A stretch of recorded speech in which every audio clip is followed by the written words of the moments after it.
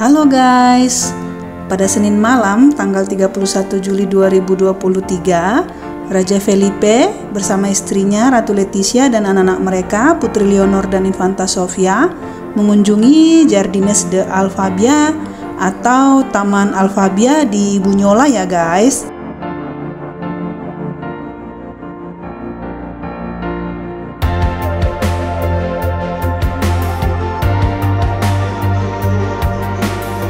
Mereka telah mengunjungi Taman Alfabia ini selama di Sierra de Transmontana selama mereka tinggal di Palma ya teman-teman.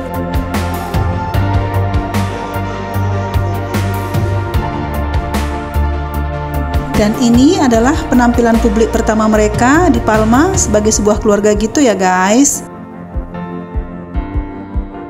Ini merupakan penampilan publik pertama Raja Felipe dan Ratu Leticia beserta putri mereka selama liburan musim panas mereka di Mallorca ya teman-teman.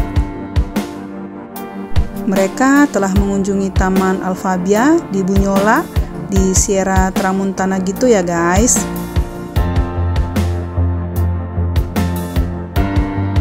Keluarga kerajaan ini akan berada di Mariven setidaknya selama seminggu sehingga diharapkan ini bukan satu-satunya penampilan publik mereka gitu ya teman-teman. Kunjungan ini memberikan kesempatan foto tahunan kepada para pers gitu, yaitu ketika keluarga kerajaan sedang berlibur di Mallorca gitu ya teman-teman. Kalau beberapa waktu yang lalu, beberapa tahun yang lalu, biasanya sesi foto ini diadakan di Istana Maripen gitu ya guys. Tapi dalam beberapa tahun terakhir ini berada di lokasi yang berbeda gitu ya teman-teman.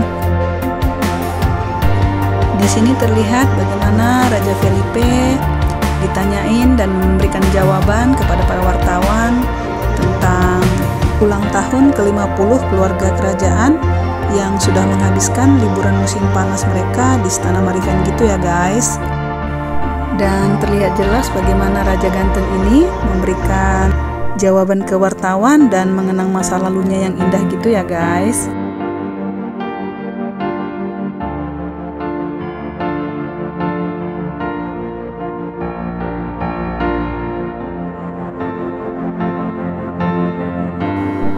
Oke okay guys, sekian dulu video tentang liburan musim panas keluarga kerajaan Spanyol, Princess Leonor beserta keluarganya.